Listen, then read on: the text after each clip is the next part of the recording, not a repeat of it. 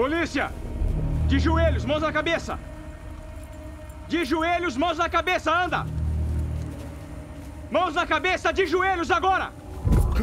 Caleb Johansson, você está preso pelo assassinato de Roxane Vial.